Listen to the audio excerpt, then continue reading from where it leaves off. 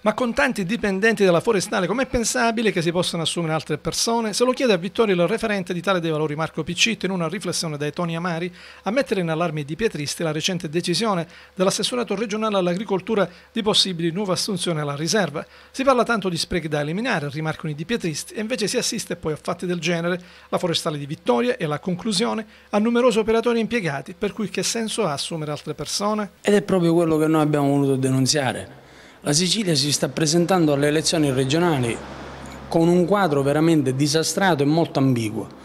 E questo è il preludio di quello che eh, dovrà ancora accadere e che si è perpetrato per troppi anni. È il motivo perché siamo giunti qua, a, in questo punto, dove la crisi ormai ci sta veramente attanagliando.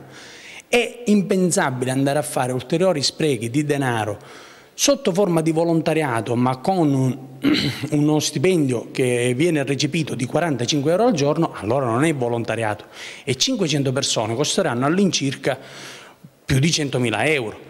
E allora io penso che quello che viene fatto per, come classico stile politico per racimolare voti non può essere oggi ancora attuabile.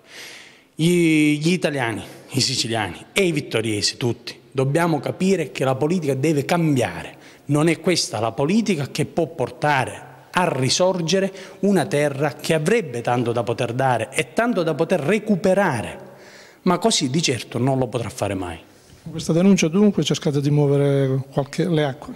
Sensibilizzare gli animi, soprattutto dei politici, della classe politica, che la deve finire di usare il classico stile vecchio, ormai obsoleto, che ha trucidato generazioni di siciliani.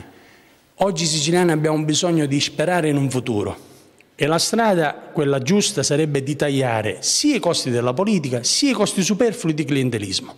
Se questo non si farà l'Italia eh, e la Sicilia non si potranno riprendere e noi non ci possiamo stare perché i padri di oggi, quindi dei ragazzi che domani avranno un futuro, siamo noi.